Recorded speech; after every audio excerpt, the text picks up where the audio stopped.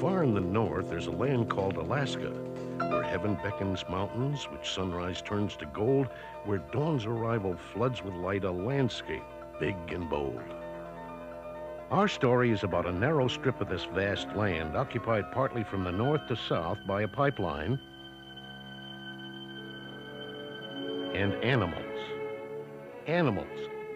All kinds of animals.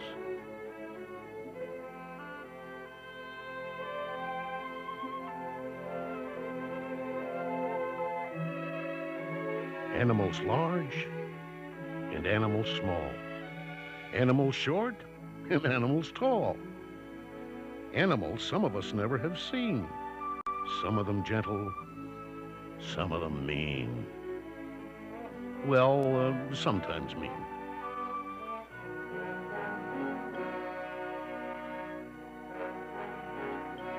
These wild creatures were here long before the works of man like the Trans-Alaska Pipeline, which extends 800 miles from Prudhoe Bay to Valdez.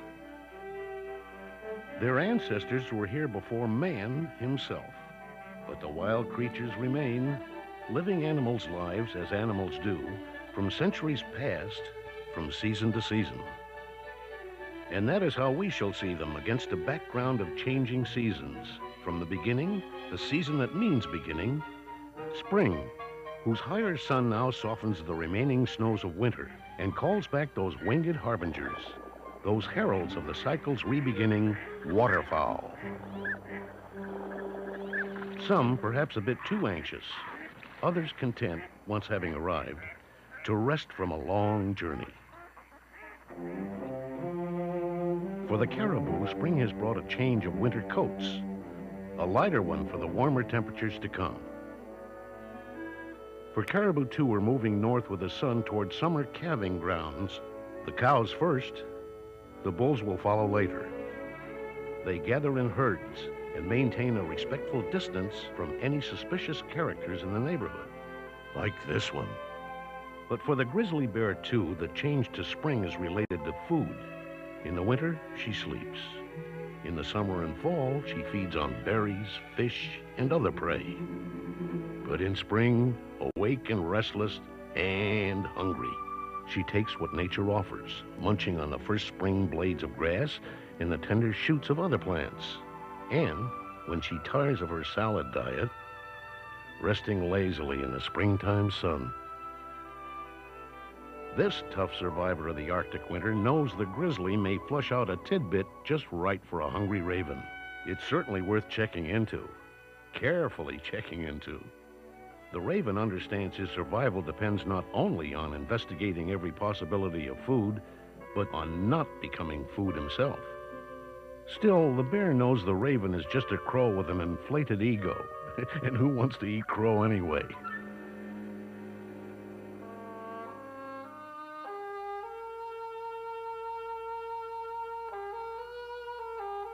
These rocky Arctic slopes appear lifeless, even incapable of supporting life. But Dall sheep cling to these mountainsides and find a living here. For the sheep, the changes of spring bring a new zest to life in the high meadows. The ewes and yearlings find better feeding on the lower slopes. But the rams stay high up, apart from the rest of the herd, aloof and elusive. Sheep prefer to stay near the rocky cliffs and outcroppings because they can easily outmaneuver any predator in this rugged terrain.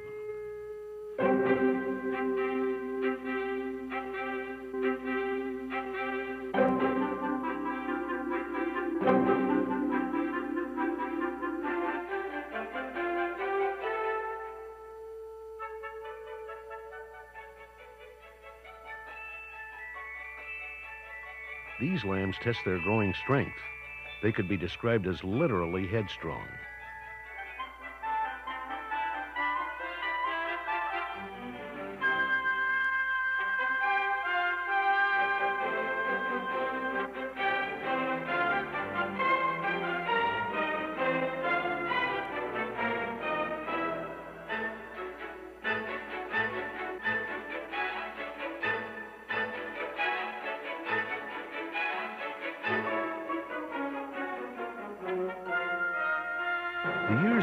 Washed over these mountains as numerous as raindrops from a summer shower. But life here in the high Arctic remains unchanged.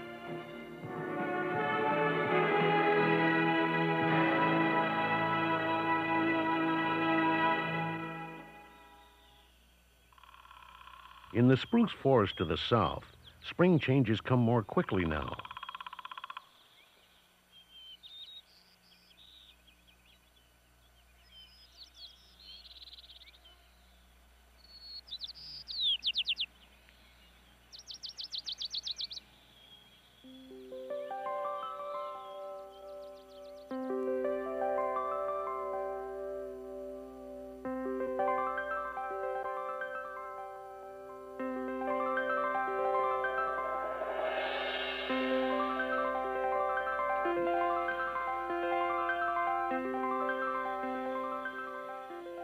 Like the rapidly changing flight of the bird of prey or the flock of phalaropes, the land too is constantly changing.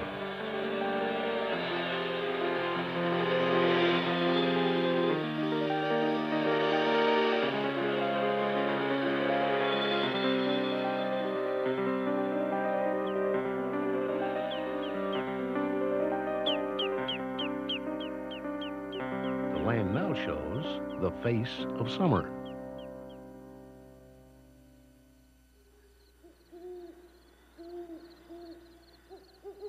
This is a face only a mother could love, and she thinks it splendid. Big ears to hear a stealthy tread, big eyes perceiving risk ahead, big nose. Well, every mother's moose should have a nose like this.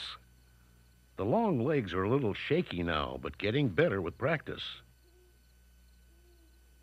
The mother, having just given birth, craves salts from this natural mineral lake on the forest floor. On the highest branch, typically, a golden eagle rests before flight.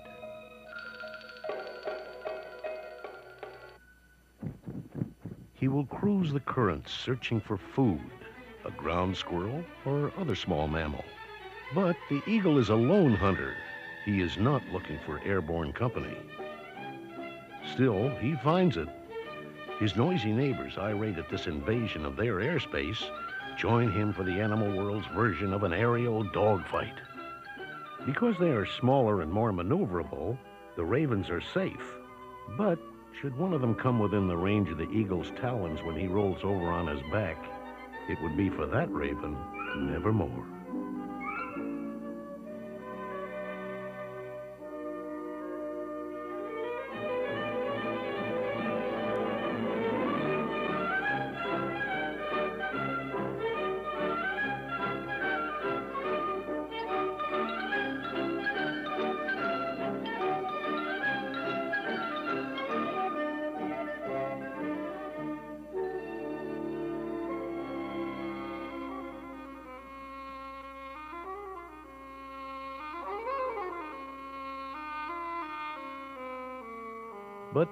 Turnabout is fair play.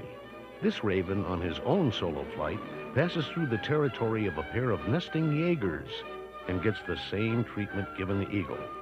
Having learned perhaps from the eagle, he responds in the same way.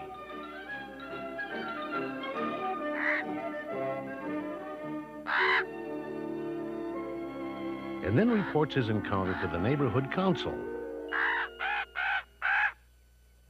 Perhaps the raven version of a council of war. They did. Just wait till we get those Jaegers.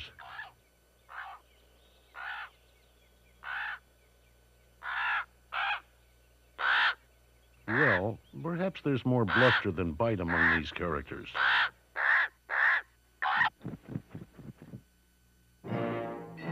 This grizzly, like the eagle, is looking for a ground squirrel. She is well into summer feeding, and life is just one continuous meal from sunup to sundown. So the scent of a ground squirrel is more than she, well, more than she can bear. Even if she catches the squirrel, though, she may use up more calories than she takes in if she continues to expend energy at this rate. But bears must work to live and often traveled great distances in search of food.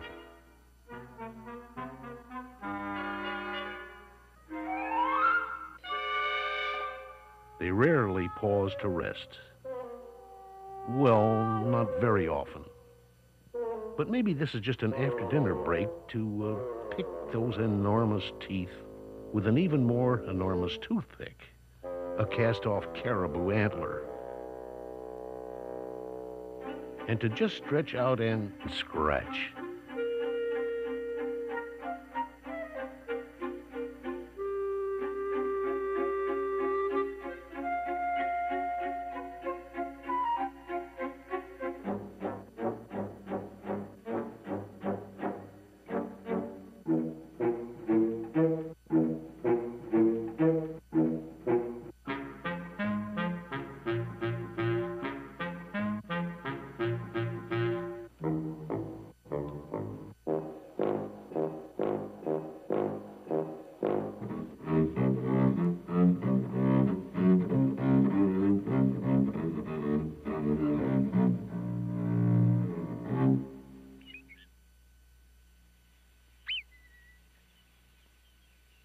But one itch is never satisfied in these big bears hunger.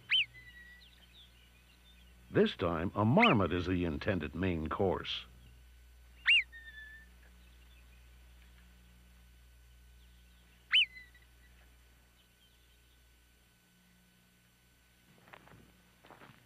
With incredible power, the grizzly changes the landscape to drive out his prey, thrusting aside 50 pound stones. But he has an insatiable craving for this protein after his spring diet of grassy salads. While the bear digs, the marmot exits through the back door of his underground house. Boy, look at that guy go. Yeah, glad I got a long house. Oh, well. I'm not tired of salads.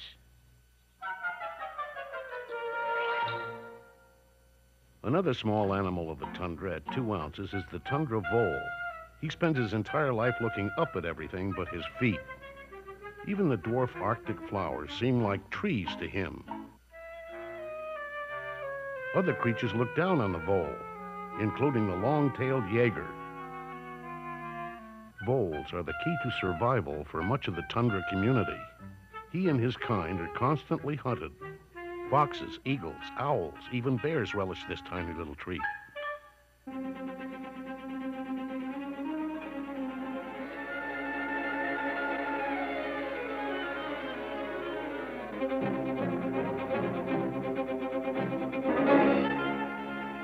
This time it's the Jaeger that gets the treat.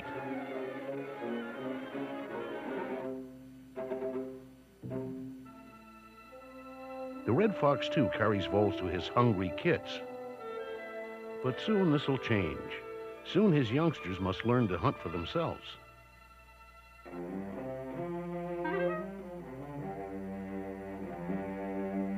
Caribou, perhaps like people, tend to follow the crowd. If one leads the way, the rest will follow for fear of being left behind. From the anxious one to the sluggish one. The bored one, the tired one,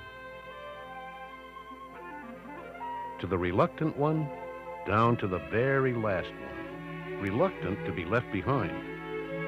They push ahead, moving on, always moving, going the way they've always gone, unless they choose to go by a different route.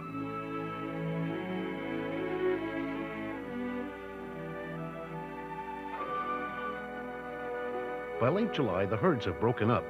The caribou may appear singly, their velvet-covered antlers almost fully formed. But now other herds appear, or hordes to be more precise. Mosquitoes, black flies, and warble flies that darken the air.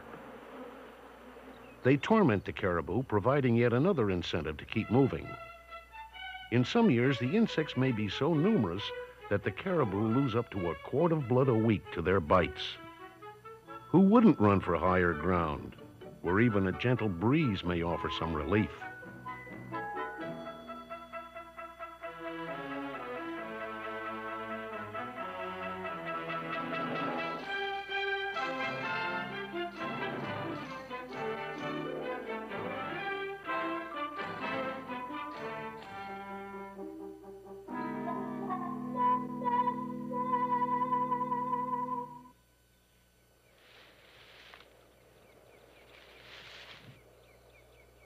Far to the south, near the coast of the Gulf of Alaska and the end of the pipeline, another kind of bear inhabits the lush, damp forests.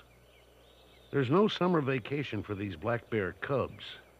Mom has them firmly in tow, and class is definitely in session. Playing hooky is not allowed. She's an affectionate mother, and he's been an obedient little cub. Today's class is in watchfulness and caution, although the only natural predator she fears for her cubs is another bear.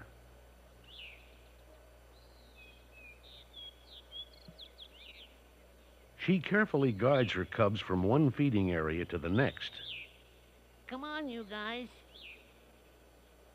and they freely roam these coastal areas, including the grounds of the pipeline's marine terminal at Valdez.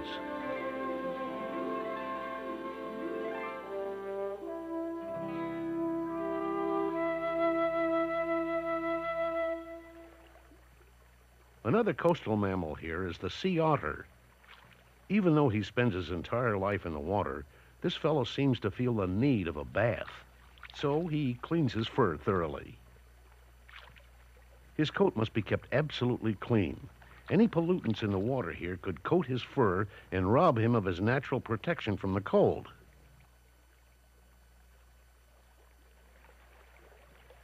When this pair has a youngster, it'll be born in the water, even sleeping there, because sea otters are equipped to sleep comfortably afloat. And we thought we invented water beds. Otters feed on snails, clams, sea urchins, and crab, and they must eat as much as 25% of their weight each day to maintain their body warmth. Now summer green gives way to autumn as new colors inflame the forest and new sounds fill the air.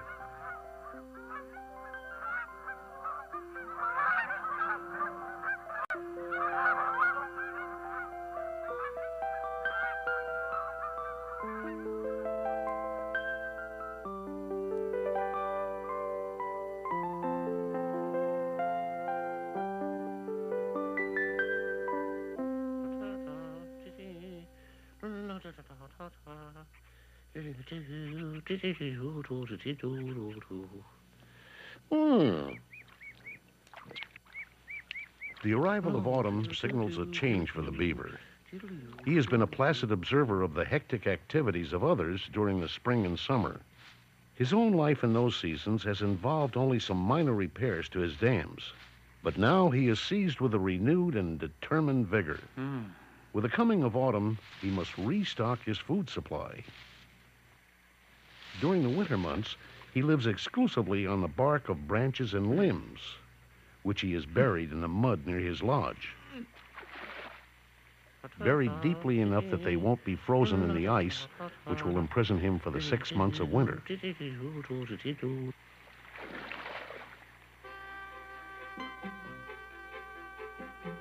On a rocky slope overlooking the Beaver's Valley lives the pika.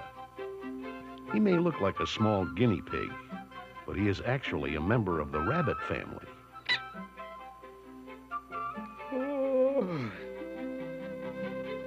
He lives in this jumble of boulders and rocks the year round, eating any kind of vegetable matter that grows close to his protective rocks. He won't stray very far from these rocks where he was born. He doesn't hibernate, so like the beaver, he must collect a food supply to see him through six months of survival beneath a winter mantle of snow. But winter's yet to come.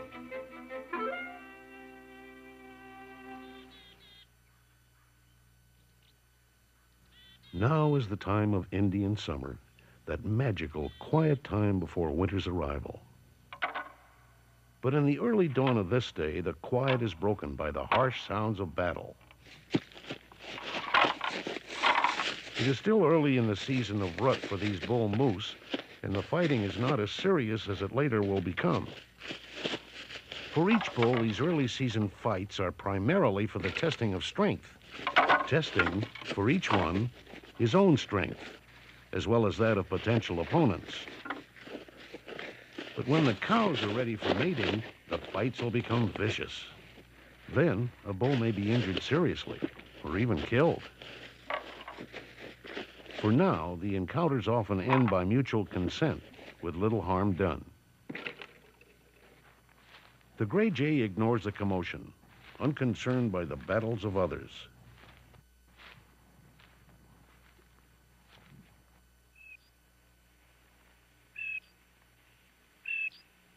In the brief warm days of Indian summer, the birds continue to make their way south, leaving predators behind.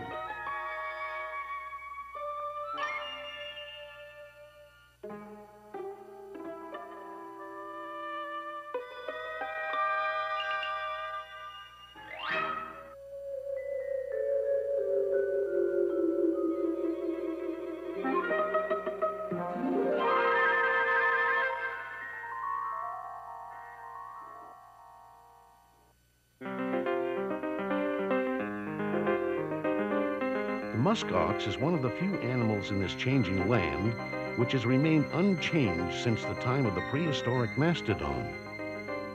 He's a living link to the ancient past, and he survives now in the northernmost reaches of the Arctic, including here, where the pipeline is buried beneath his feet. The bulls are cautious and watchful. The cow trying to persuade her calf that the youngster really is on his own now. With a heavy coat that looks like a shaggy skirt, these animals are truly equipped to survive the brutal cold of the approaching Arctic winter. Now the air has grown distinctly colder, and the young moose have become even more shy. They retreat to their secret places.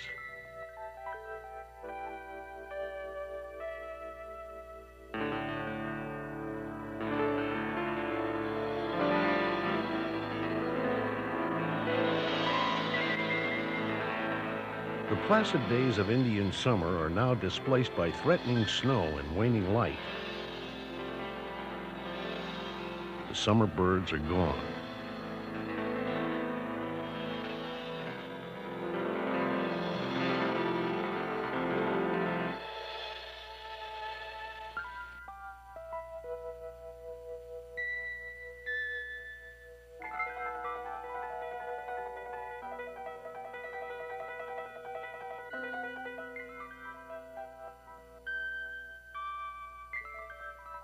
The mature bulls continue the lonely search for a mate.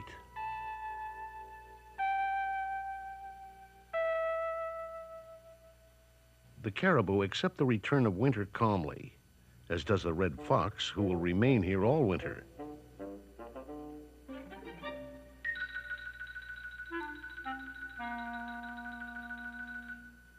But the main herd of caribou will soon make their way south.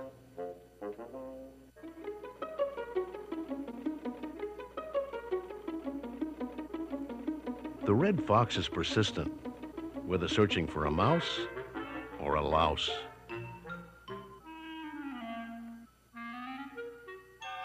The winter landscape appears to offer little in the way of food.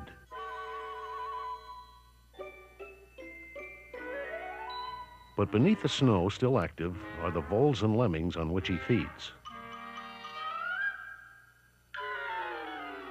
So the raven focuses his attention on the foxes now that the bears are hibernating, hoping a fox will find something he can scavenge.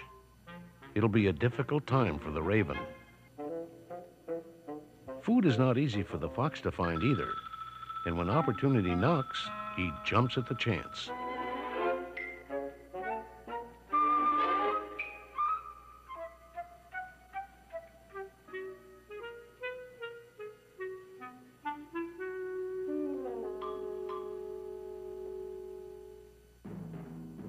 Small bands of caribou begin their southward movement. It's a movement that'll grow in size and intensity and continue for several weeks. It'll take the caribou to forest regions further south.